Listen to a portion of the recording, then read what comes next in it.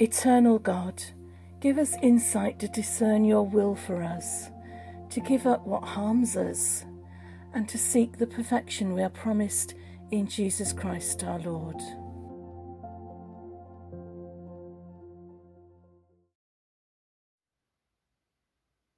As I went, ruined, rushing to that low, there had before my eyes been offered one who seemed, long silent, to be faint and dry.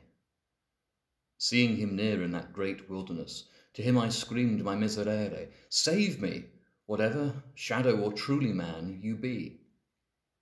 His answer came to me, No man. A man I was in times long gone, of Lombard stock, my parents both by Patria and Mantuan, and I was born, though late, sub Julio. I lived at Rome in good Augustus' day, in times when all the gods were lying cheats. I was a poet then.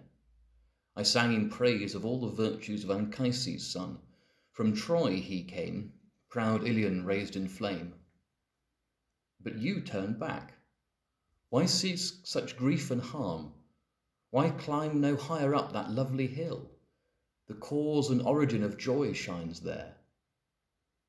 So, could it be, I answered him, my brow in shy respect bent low, you are that Virgil, whose words flow wide, a river running full. You are the light and glory of all poets. May this serve me, my ceaseless care, the love so great that made me search your writings through. You are my teacher, you my lord and law. From you alone I took the fine tuned style that has already brought me so much honour. See there? That beast I turn because of that. Help me. Your wisdom's known, escape from her. To every pulsing vein she brings the tremor. Seeing my tears, he answered me, There is another road, and that, if you intend to quit this wilderness, you're bound to take.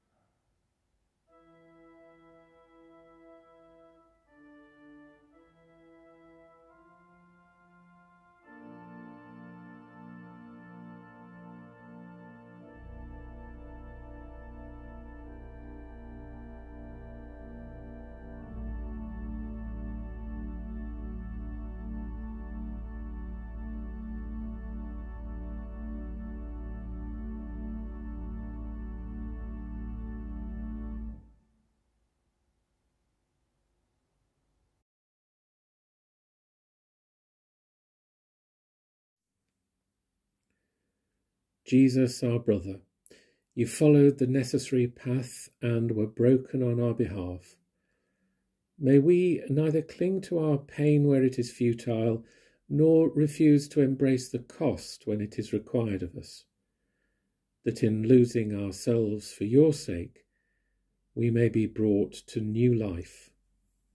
Amen.